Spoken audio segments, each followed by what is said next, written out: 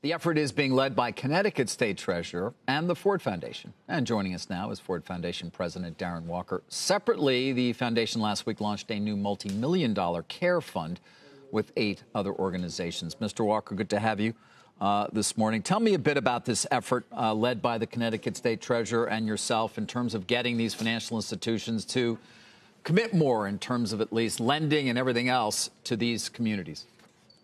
Well, thank you. The effort with the Connecticut State Treasurer Wooden is an effort to elevate uh, as priorities for corporate policy diversity inclusion uh, in both their internal practices and how they deal externally.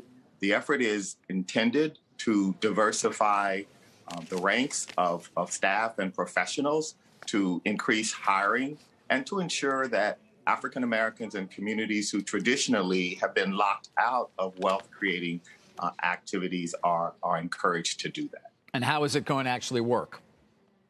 It's going to work in two ways. One, internally, um, those corporations making commitments to increase hiring, uh, to ensure that um, there are across uh, uh, the company org chart uh, leadership, promotions, et cetera externally is going to work with how they invest, how these companies invest in communities of color, um, how they ensure that there uh, is diversity and that there is fairness of opportunity in their products, um, and ultimately in opportunities to create wealth. Yeah.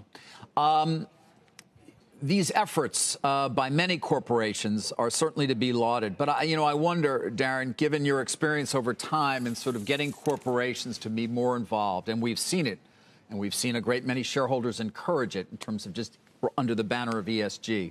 But I wonder, does it promote some sort of a backlash? And here I'm not talking about this effort specifically, but broadly speaking, this new campaign, for example, from a conservative organization targeting corporations that have spoken out about social justice issues.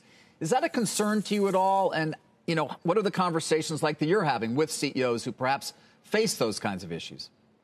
That's a great question, and it is definitely a concern.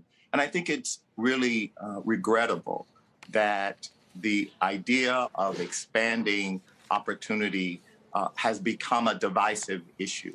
Um, that the idea of diversity, which is at the very heart of uh, our American aspiration, is something that is being criticized.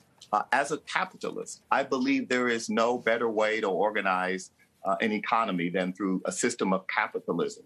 But we must have a capitalism that is inclusive and that supports opportunity for all. And the reality that we know from data and research and evidence is that we've had a system of capitalism that has locked out too many.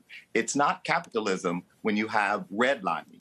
Uh, when the government and private companies conspire, draw lines around communities, and stave off capital from those communities. That's not capitalism. I actually want to give capitalism a, a chance to work for everybody.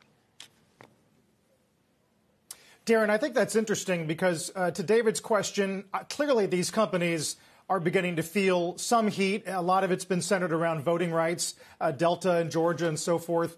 But it doesn't seem to me like there's been any thought about turning tail or any um, nervousness about ramifications going forward. If anything, it appears to be that these executives have said we are committed to this and we expect the blowback and we're, and we're not changing course. Is, does, is that borne out in the discussions you're having?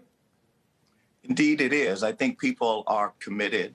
And I think, again, they regret that there is blowback. But these are fundamental issues of democracy and our most noble aspirations as a nation we should be celebrating the idea that more Americans are engaged in our democracy and democratic processes. That should be a reason for all patriots to come together and feel good about America. Shepard Smith here. Thanks for watching CNBC on YouTube.